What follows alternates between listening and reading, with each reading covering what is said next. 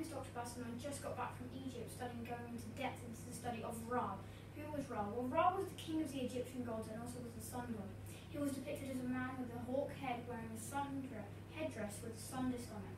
The sun disk represented that he was the god of the sun, and also the hawk head represented that he flew across the sky during the day, giving light to the people of the world.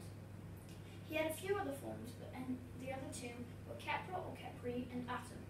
Khepra was the god of the rising sun. He looked like a man with a beetle head or a scarab head, which represented life from nothing for the ancient Egyptians. He also represented birth and a dead person going from the world of the living to the world of the dead. The second form is Atum.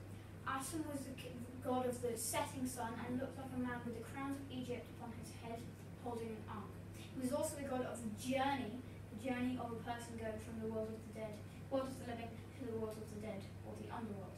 That's why he was almost always depicted in the sunboat. The sunboat was the boat that flew Ra across the sky during the day, giving light to the people of the world. During the day, it was called the manjet boat, where it flew across the sky through 12 areas, representing 12 hours of daylight.